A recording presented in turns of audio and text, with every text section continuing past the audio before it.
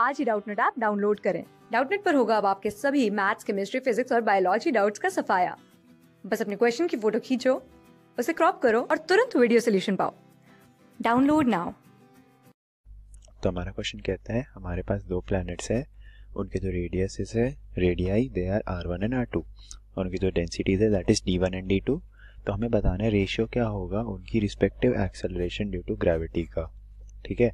हमें क्या पता है अगर हम एक्सेलरेशन ड्यू टू ग्रेविटी की बात करें।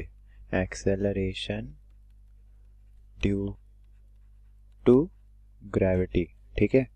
उसकी वैल्यू क्या होती है? अगर हम उसको ए से रिप्रेजेंट करें तो उसकी वैल्यू होती है capital G which is the gravitational constant into capital M which is the mass of the planet upon capital R square R है हमारा रेडियस ऑफ़ द प्लैनेट ठीक है?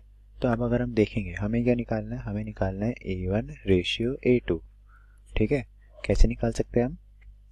हम देखते हैं ए वन क्या है? A one is G capital M upon R one squared ये एम वन होगा। और ए टू है हमारा G capital M two upon R two squared ठीक है? तो अब अगर हम देखें, हम इसको थोड़ा सा चेंज कर सकते हैं। ठीक है? कैसे चेंज करेंगे? हमें मास के बारे में कुछ नहीं दे रखा। हमें दे रखा है रेडियस और डेंसिटी तो हमें क्या पता है डेंसिटी तो होगी that will be mass per unit volume ठीक है?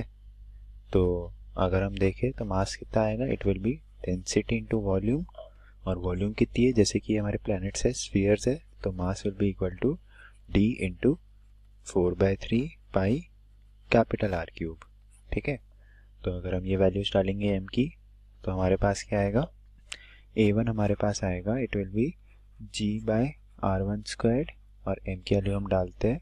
D into four by three pi R one cube ठीक है?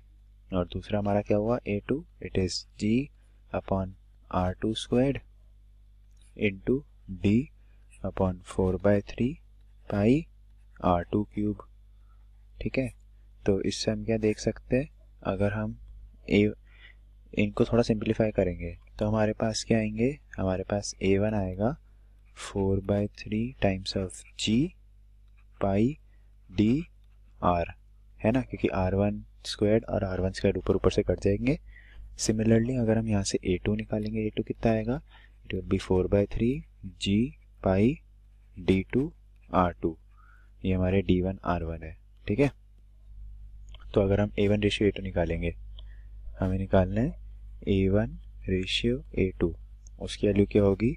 ए वन की वैल्यू डालते हैं four by three G pi D one R one upon four by three A two है हमारा G pi D two R two है ना? ये four by three G pi दोनों साइड से कैंसिल हो जाएगा तो हमारे पास जो रेशियो आएगा that would be D one R one ratio D two R two ठीक है? So this is the ratio which is the answer This is given by option number A. So, A is the correct answer. Thank you. Class six से twelfth से लेके NEET I I T JEE mains और advance के level तक दस million से ज़्यादा students का भरोसा आज ही डाउनलोड करें डाउट नेट आप या व्हाट्सअप कीजिए अपने डाउट्स आठ चार सौ चार सौ चार सौ पर